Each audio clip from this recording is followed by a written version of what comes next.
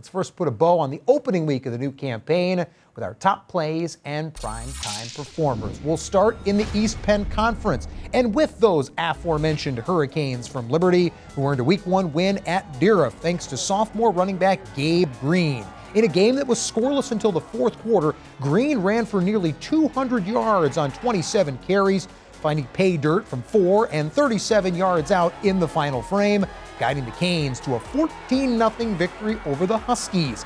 In just one outing, the sensational sophomore outperformed his entire production from a year ago, turning in the most impressive performance on the ground that EPC saw in the opening week of the season. From offense, we move next to defense and special teams, which were the driving forces behind Whitehall's season opening win against William Allen.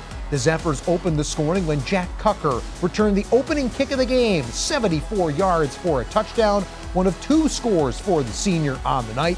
Whitehall's defense then forced four fumbles, two of which were returned to the house. Justice Miles had one of those defensive tutties, part of a night that featured six tackles for loss and a sack for the junior after a 53 0 win last week, the first of the Andy Marino era at Whitehall. The Zepps take on Bethlehem Catholic coming up on Saturday. The EPC's lone Saturday showdown last week turned out to be the game of the week in the Lehigh Valley.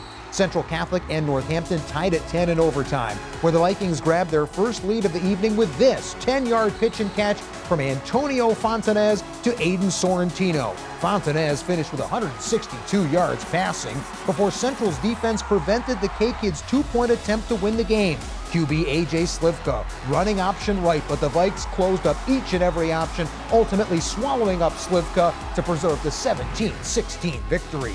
Notre Dame Green Pond, meanwhile, opened the Colonial Schuylkill League season with a comeback win as well. The Crusaders with a final 36 points Friday versus Saucon Valley, sparked by senior signal caller Danny Darno, who broke off second half scoring scampers of 5, 30, and 35 yards as Notre Dame ran away from the Panthers with a 48 20 triumph.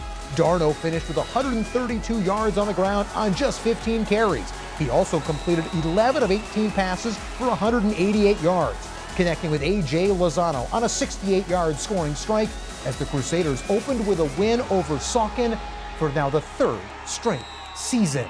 Finally, Bangor also grabbed its third consecutive victory over Palisades on Friday. The Slaters sizzling thanks to an early season connection between seniors Greg Campbell and Riley Stapp. The quarterback and wide receiver duo combining for not one, not two, but three touchdowns, scoring strikes of 14 27, and 29 yards in Bangor's 36 8 win. In one game, Stapp equaled his receiving touchdown total from a season ago, while Campbell dazzled in his debut under center, finishing 8 for 11 passing for 118 yards and four total TDs.